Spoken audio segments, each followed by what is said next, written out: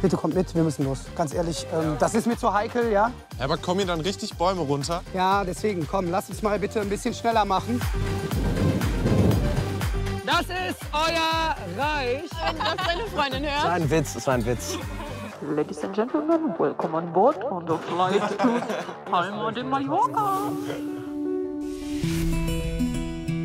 Also, was war bei deiner Uni los, dass du zu spät kamst, sag ich mal? Das sind halt Pflichtveranstaltungen und dort musst du halt auftauchen. Das halt, ja, da kannst du halt nicht. Also nicht absagen, ja. Genau. Was studierst du? Architektur. Die Jungs waren auch direkt super sympathisch, haben mit ihr gequatscht und die haben sich dann direkt kennengelernt.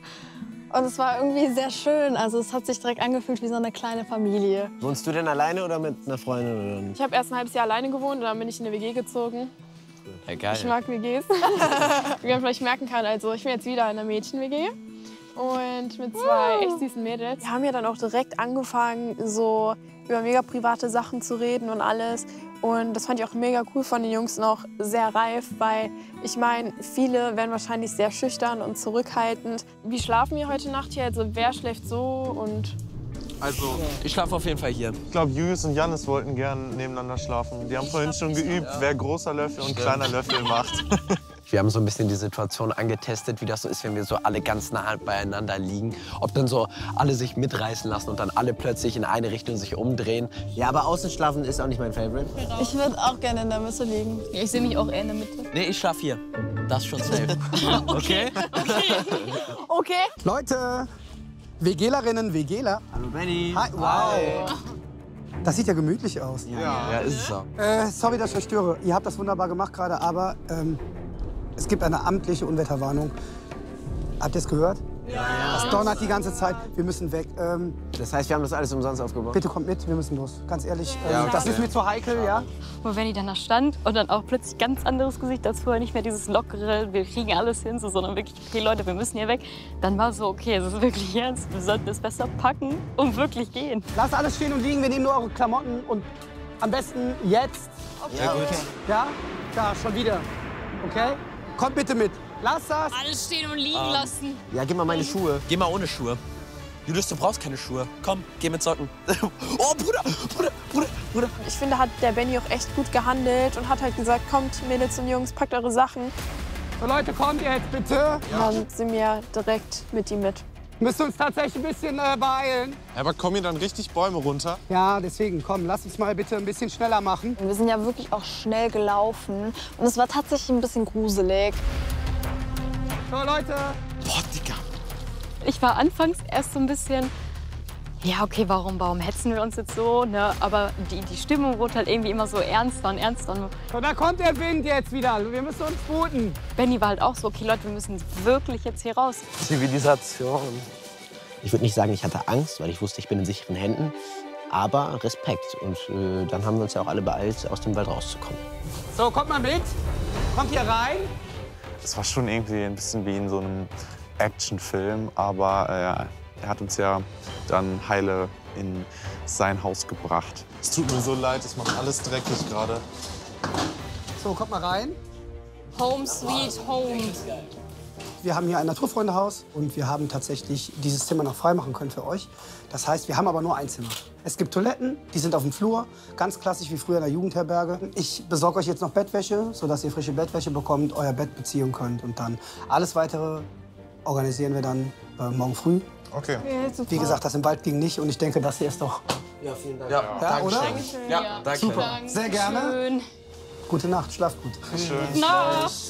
Also trotz des Wetters war es ein cooler Tag eigentlich. Also no front an unser Lager, aber so ein sauberes Bett und so ein festes Dach über dem Kopf ist schon was Schönes. Mach drei Kreuz, wenn ich heute Abend Bett liege. Ich schlafe auch wie ein Stein gleich. Ja. Ja, war ein anstrengender Tag, Feli, ne? Wenn du wüsstest, ich war gestern bis halb acht wach. War bis halb acht wach. Fast so Primetime. Also dann im Haus war ich wirklich erleichtert. Ich war froh, dass wir dann richtige Betten hatten und dass keine Äste oder Bäume auf uns fallen können und wir nicht überflutet werden oder so. Also ich glaube, da ist im Haus die Wahrscheinlichkeit doch noch ordentlich geringer. Wir haben das Ritual vielleicht nicht ganz erfüllt, aber ich finde, wir können trotzdem stolz auf uns sein. Ja. Oder? Haben wir gut gemacht. Haben wir gut gemacht. Sehr gut. Super, schlaft gut, Leute.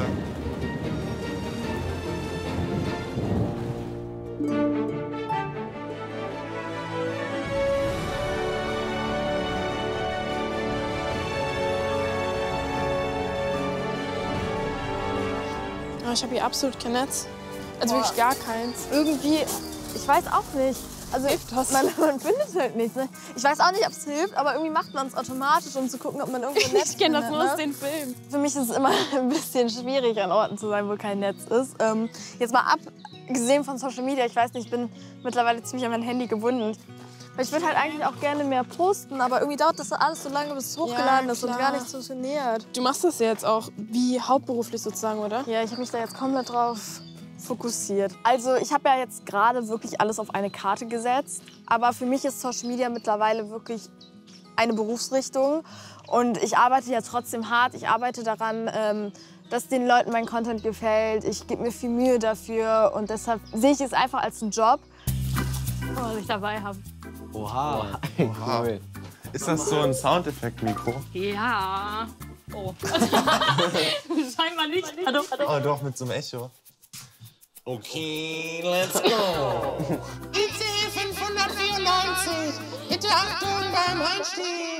Ladies and gentlemen, welcome on board on the flight to Palma de Mallorca. Wenn du mir bis morgen das Geld nicht bringst, dann haben wir ein großes Problem. Halleluja, it's raining man.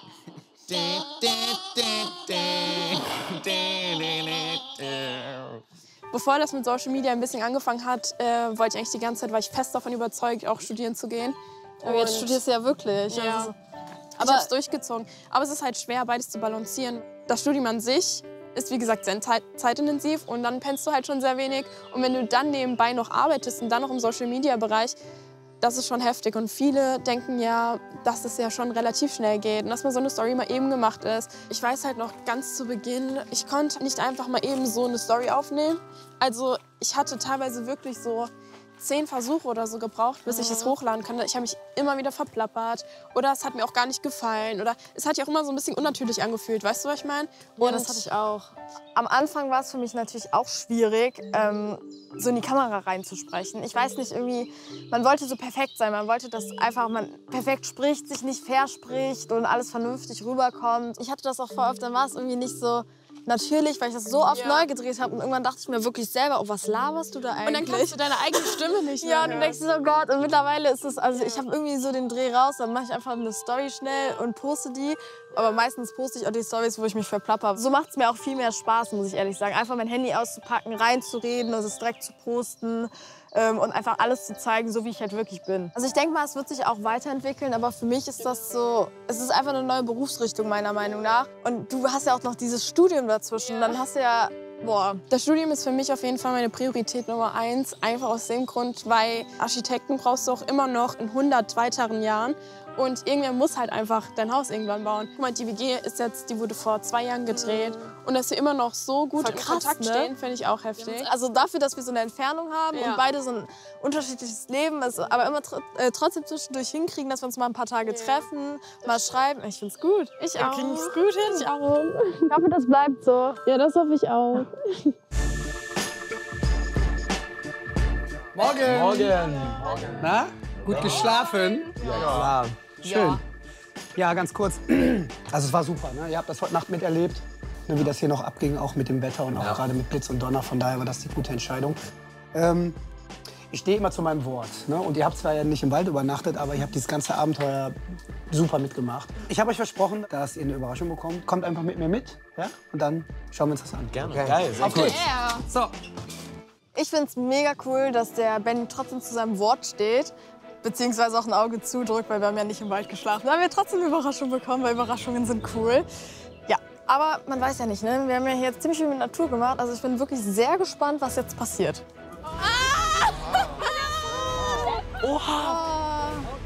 das ist euer Reich. Geil. Wow, was ist das denn? Das ist so ein wunderschöner Platz hier. Also im Vergleich zu gestern war es wirklich einfach nur noch Luxus und es ist einfach geil.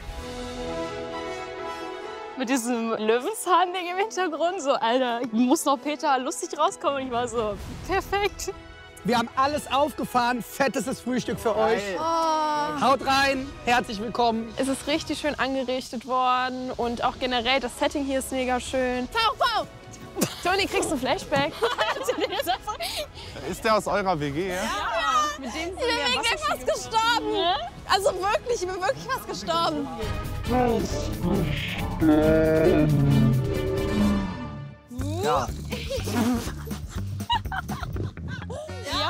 Boah, ich leg mich jetzt so straight auf euch. Er ist so fett. Oh mein Gott.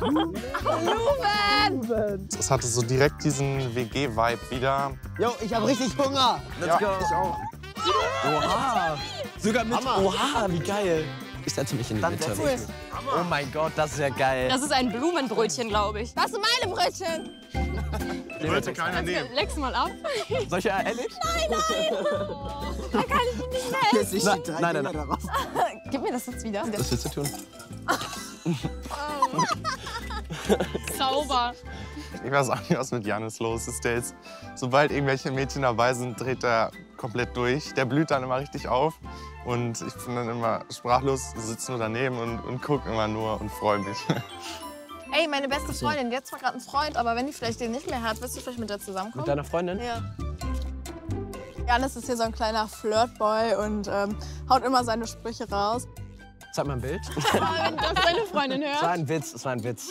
Ich bin einfach ich selbst und versuche einfach alles zu machen, dass die anderen Spaß haben. Und deswegen kommen manchmal so ein paar Kommentare, das ist auch nicht ernst gemeint. Ich hoffe, es schmeckt euch. Ja, ähm, Da unten haben wir ja Ziegen. Und ich habe euch ja gestern auch gefragt, dass ihr mir vielleicht ein bisschen helfen könnt. Oh, müssen wir die melken? Ähm, müsst ihr nicht melken, aber tatsächlich haben die im Moment so ein bisschen Mineralstoffmangel und die kriegen Medizin. Und wenn ein paar mir vielleicht helfen könnten, äh, das ist ein bisschen tricky, die kriegen nämlich einzeln per Hand. Geil. Treffen wir uns später? Ja. Machen Haut wir. rein, guten Appetit. Dankeschön.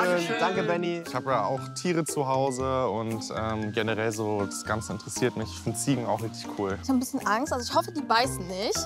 Sonst habe ich ein Problem. Hier Leute, auf uns und über unsere überstandene Nacht im Wald. Darauf, dass wir jetzt Erwachsene sind. Aber ich finde dafür, dass wir jetzt also gestern nicht ähm, im Wald geschlafen haben, fühle ich mich trotzdem so ein bisschen erwachsener. Oder? Also ich persönlich finde ja, dass der Mensch sich irgendwie alle sieben Jahre so sau verändert. Also mit sieben ist man ganz anders als mit 14 und dann mit Hab ich auch mal 21 ist es dann auch noch mal richtig anders. Du glaubst an den Siebenjahreszyklus? Aber das ist wirklich so, das habe ich auch mal gehört. Sieben Jahre kann auch so ein guter Lebensabschnitt sein, wie Kindheit, Jugend, Teenageralter, Erwachsensein. Also ich weiß nicht, wie das bei euch ist, weil ihr seid jetzt einen Ticken älter. Aber ich finde so, jetzt kommt man langsam so in diese Aufbruchsstimmung. Jetzt habe ich nächstes Jahr mein Abi. Dann überlegt man sich, wo will ich hinziehen? Was passiert dann mit meinem Leben? Was will ich machen? Was will ich machen? Ich mein, Jobmäßig. genau, und da glaube ich, wenn man das nicht weiß, ist das eine große Verunsicherung. Man muss es nicht direkt wissen. Ich war mir auch unsicher, weil ich wollte die ganze Zeit Kindermedizin oder Architektur machen. Das sind zwei komplett verschiedene Sachen. Und dann habe ich mich auch einfach entschieden. Aber ich habe es bisher nicht bereut. Ich habe auch gar keine Ahnung, was ich mache, weil es gibt ganz viele Richtungen, die ich irgendwie cool finde. Ich möchte auch nicht nach der Schule, glaube ich, direkt studieren. Vielleicht erst mal was anderes machen, reisen, so ein bisschen was kennenlernen. Ich spüre immer mehr diesen Umbruch, dass jetzt die Schule so langsam sich dem Ende neigt und ähm, dass irgendwann dahinter auch noch so was Neues kommt, was man jetzt nicht die ganze Zeit, die ganzen letzten Jahre gehabt hat. Aber ich freue mich da eigentlich drauf. Man sollte sich nicht so dann die Gedanken machen und irgendwie den Stress so, was mache ich jetzt und so, sondern einfach mal, einfach mal machen und gucken, wohin das so führt. Ich meine, in der Schule lernst du was über Analysis, aber nicht darüber, was deine richtigen Interessen sind. Und ich finde, das fehlt halt. Ich merke das jetzt auch ganz krass, weil ich muss ja meine eigenen Rechnungen schreiben und so. Und ja, ich wusste ja nicht, ob ich, wie ich eine Rechnung schreibe erstmal. Und auch Steuern. Das musste ich dann googeln und mit meinem Papa zusammen irgendwie habe ich es dann hingekriegt. Ich finde es schade, dass wir in der Schule nicht die wirklich wichtigen Sachen lernen, beziehungsweise alle so den gleichen Stoff durchnehmen, ohne dass die Menschen so wirklich individuell gefördert werden. Weil jeder hat andere Talente und die werden halt meistens nicht erkannt oder gefördert. Ich habe Beispiel Freunde, die sind total gut in Kunst und dann kann man keinen Kunstleistungskurs bei uns an der Schule nehmen oder so. Bitte, bitte, liebe Politiker, ändert wirklich etwas am Schulsystem. Das kann so nicht weitergehen. Seit Hunderten von Jahren ist es dieselbe Leier und so viele Schüler leiden und werden zerstampft vom Schulsystem. Bitte ändert etwas. Wir können unfassbar dankbar sein über die Bildung, die wir bekommen, weil das halt so ein großes Wissen ist aus allen verschiedenen Richtungen und so. Aber ich finde auch, dass da auf jeden Fall noch großes Verbesserungspotenzial ist.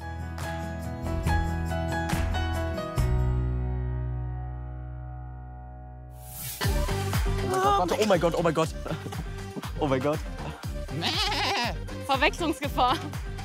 Hallo. Das ist echt schlecht. Soll ich das lieber machen? Ui, deine Hörner in meinem Genitalbereich.